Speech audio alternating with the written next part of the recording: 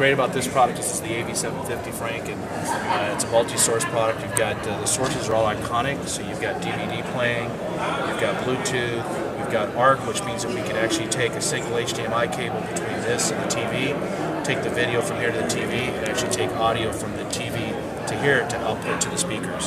So we can get better audio because the audio typically of the TVs is not very good.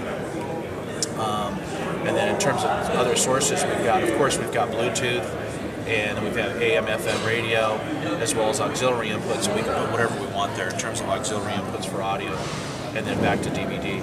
So uh, the other thing that makes these products quite interesting is all of our products are multi-zone, so we can control the audio by space, and we can name those spaces, so the user understands what part of the coach they're got bedroom operating. sound, he's got living room sound, he's got outdoor entertainment sound. Cab, right, whatever Exactly. And it could be an OEM or an Exactly. aftermarket And then if you look at that product in terms of that face compared to a lot of the products on the market, what we've done is we still have a single din rear chassis, so it's a traditional car stereo cut out in the rear, but the advantage is, is we don't have that large footprint on the face while still accomplishing all the sources and functionality.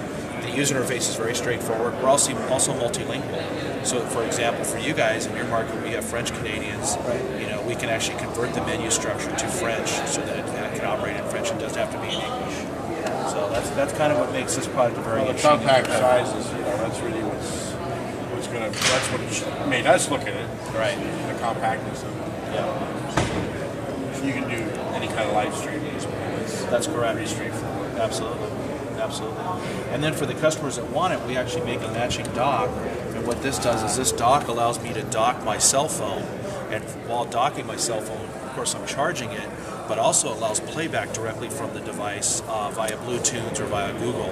Uh, you know, Like you would with an Apple TV or something. Correct. Or AirPlay, But- whatever it's called. But the good, the great news about when we do this is the quality of the sound improves dramatically because Bluetooth streaming is actually not a very good source. no, if it's if it's not good to start with, you don't get much. So you can Correct. you can enhance the sound. That's correct.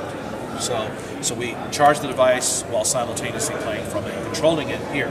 So while I'm docked here, I have full control of my device here, and I can actually mirror all of the software that's in my phone right here while controlling it here.